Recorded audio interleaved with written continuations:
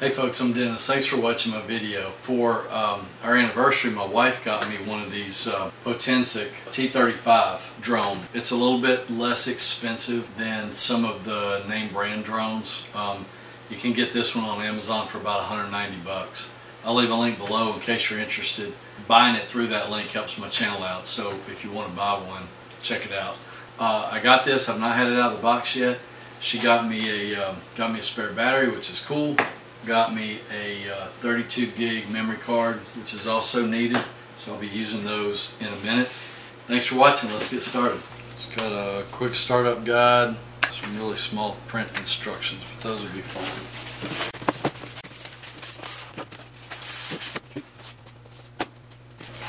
So it comes in a it's got a plastic cover over it in a styrofoam case. Propeller blades are on the back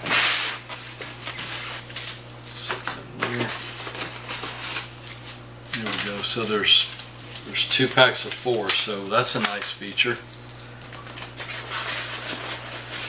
Got the battery that comes with it.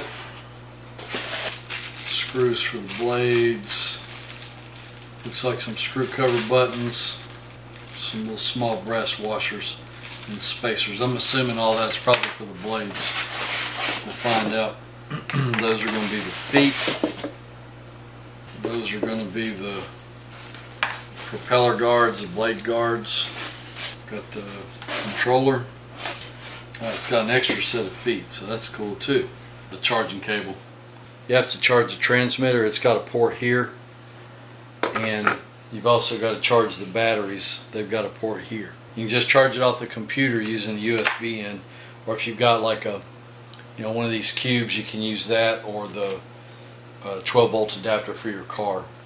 So I'm going to go ahead and charge the battery. It says it takes them quite a while to charge up so I'm going to go ahead and plug it in while we're doing the rest of this and get it charging. Yeah this little bag of parts has um, the screwdriver six little plastic caps screws and spacers maybe for the propellers, and then another bag of screws and a bag of brass washers. Propellers go on with the propeller, spacer ring, fixed ring, and the cap. I have a feeling these instructions are translated Chinese, so we will see how this goes. I don't know if you'll be able to see this on camera or not, but there's a there's an A or a B depending on the propeller. So you need two A's and two B's. There's two A's and two B's in each set. And you got a you got a spare set that comes with it. You want to do an A, an A, and a B, and a B.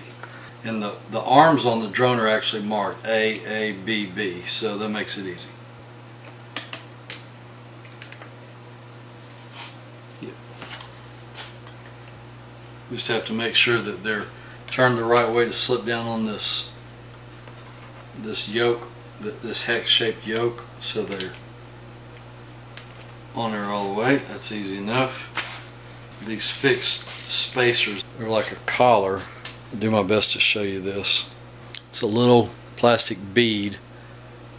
It's got a hole in the side and then these real little tiny screws. The screw goes into the hole in the side. So this thing can work like a like a set screw, like so.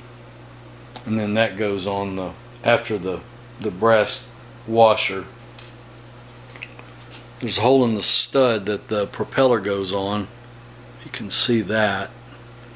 And that's where that screw is going to go is into that hole. The hole that the screw goes into is bored all the way across so it can go in either side. So the instructions say to put on a spacer ring, a fixed ring, and a cap. So we're going to dig out one of these brass spacers. They're packed in this bag with some kind of lubricant, like a silicon or something. So they're, they're a little slimy and a little hard to get out. So you put one of those on, and then you take this split collar, or the fixed collar rather, line the hole in the side of that fixed these little tiny screws are frustrating, I'll tell you that.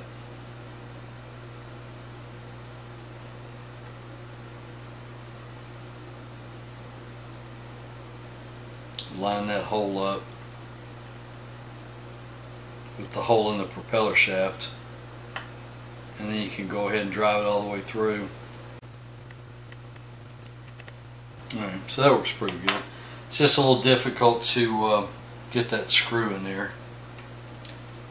And then that cap just presses on. So we got to do that to all four. Not too bad other than those little screws. I'm going to do the other three and then come back to you. Now mine came with the camera already installed, but uh, the instructions say that you have to install the camera. So I've taken mine halfway apart. I'm not going to unplug the cables, but there are two electrical connectors. One's wider because it's uh, uh, looks like a five connector. The one to the outside is a little bit smaller. It's a four connector, so they can only plug into the right one. You know, so you plug the camera in. If yours doesn't come assembled, um, the camera itself will be, but you you may have to plug it into the bottom of the drone, and then you basically just kind of press that down and slip it into this channel. and There's a little lock, just like so, and then it's easy on and off. Uh, take your piece of, of, take some lens cloth or a lens tissue and clean the, the lens on the camera. And the feet, there's just a release button here for the feet. You pop out like so and turn and come out. So it's easy to put them in and out if you if you want to take them off also there's a there's an hourglass shaped one that goes in first they're marked left and right this one's right there's an R here, there's an L here, and this leg is marked L. This is the locking side where the, the button is. So what you do is you take the, the keyhole in first, put it in here like so, make sure it's all the way in and turn it like that, and then it'll lock in place, and then you just pull this one out and slide it into the slot until the button snaps, and then you're good to go. Now, I will say this, the, uh, the instructions are lacking. You can tell that it's made in China and that the, that the instruction book is translated. Um, it's not real complete. You have to kind of read through it. I would advise you to read through it all first before you ever start with the drone and then just kind of get your bearings and you probably to have to figure some things out like I say the they don't even mention in the installation guide I don't see anything where they mention the propeller guards they don't so I guess suppose they're optional picture on the box doesn't show them but probably a good way to protect your blades so I think I'm going to put them on. So on the end of each propeller arm there is a little plastic insert that you just slide out. The propeller guard slides in like so and then it's going to take a couple of these longer screws that they give us to go into the, through the bottom um, right here. So it takes two per guard. You just drop in these little outer holes. Tighten them up a few turns. I'd get them snug, but I wouldn't really crank on them because you're screwing into plastic, so you don't want to strip it out. You just slip out this plastic piece. It just slides out of there. And then put your blade guard in. Drop a couple screws in there. So that should be all the assembly. Now I just need to charge the transmitter and uh, that's how the transmitter looks. These batteries are kind of nice. What they do is if you just press the button and release it, it'll tell you how charged the battery is. It's got four blue lights. So that's fully charged, so now we're good to go. If you hold it down for a couple of seconds, it'll turn itself off slide the battery in. It's got the plugs there and then you got the plugs on the side. So it just slips in and locks. So I'm going to turn all that off. In the back of the camera, right here, is the memory card slot. just takes one of these little micros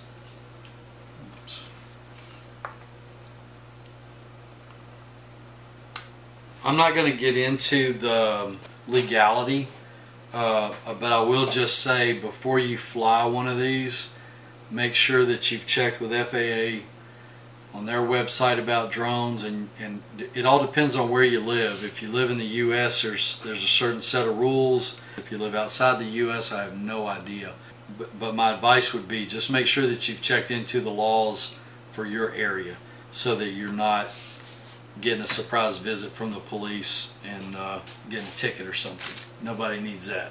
The instruction book that comes with this drone gives you a quick little rundown here on uh, page three of the all the controls. There are a couple barcodes, uh, QR codes rather, on here. One is for uh, Apple device and one is for uh, an Android. You scan uh, whichever one is appropriate to you, and that'll install the software for you, the Potensic software, uh, so that you can use your phone with your remote to see you know what the camera's seeing to get your streaming video. Um, now the next thing that we need to do is we need to calibrate the GPS signal.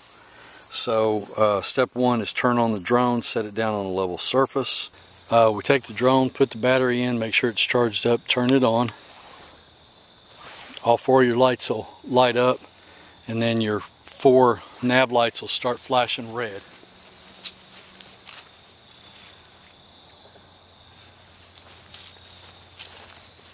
you set it down on a level surface turn on your transmitter and you'll see the lights on the drone will go to uh, red and, or white in the front and blue in the back and then they'll go back to flashing red to connect the transmitter to the drone you take your transmitter take the left hand joystick and go up it'll beep and then down and it'll beep. And then you'll see the lights on the drone. I'll zoom in so you can see it. You'll see them go to white in the front and blue in the back again. If you're going to fly without a uh, cell phone or anything, you can just proceed without the steps on the cell phone, but I like to use it because I like to have streaming video. So then the next step that you take is you go on your, I have an iPhone, so if you have an Android, same kind of thing. You go to settings and go to your Wi-Fi and on your Wi-Fi listing, you'll see Potensic with some numbers, and I think they're particular to your particular uh, drone. But you choose it and make sure it's connected. Then you can exit out of settings. You should have already installed the Potensic app. So then you go to it and start the start the app, and um, it's for multiple devices. So this is a T35, so I'm going to pick the T35. Then this is for attaching your phone or for holding your phone we have to calibrate the GPS. So you're going to take your remote, your transmitter, and you're going to take the left hand joystick to 1 o'clock position and the right hand joystick to 11 o'clock position. And you'll see that it makes the it makes the lights on the drone go to flashing red and white on the front and purple in the back. Now, that's different than what the instructions say. What the instruction manual says is at this point it'll be flashing red and white in the front and blue and white in the back. The reason it's not doing that now is because the drone is in beginner mode and you can control that in your Potensic app. When you go to controls, up here on this screen, you go to these this settings, the three bars, and you hit that and it's got beginner mode. You can turn it off or on. You can adjust the flight distance and altitude and all that. The beginner mode limits you to. And then when you're ready, you can take it out of beginner mode.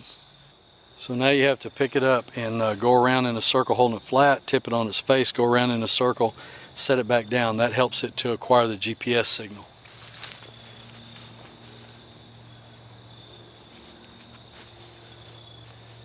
Tip it up, turn around, set it back down. Then you'll see the lights change again. And then just in order to help it um, set its gyroscope, you do just the opposite. You take the left hand joystick and go to 11 o'clock and the right hand and go to 1 o'clock. And you'll see the lights start flashing and then they'll quit. Now they're white in the front and blue in the back. And they're solid. There's, there's no more flashing. That tells you that now you're ready to fly. So in order to uh, take off, you use this button here. This button is for taking off and landing and uh, you start it, the drone will start up. It'll lift up to about uh, three or four feet and then you can uh, take over and control it. And then when you're ready to land, just get it close to you and hit that button again, and it'll land for you. So that's everything that you have to do for setup. Um, in my next video, I'll show you my first couple of flights and uh, how bad they are, but uh, I didn't crash and uh, didn't hit anything, so that's a good thing. You know, good piloting skills will come with practice with uh, me and everybody else. So thanks for watching my video. I appreciate it. Hope you uh, check out my other one on my first couple of flights on this drone and uh, check out my, my channel and some of my other videos too. Give me a like if you would, and I hope to see you back soon. Thanks. God bless.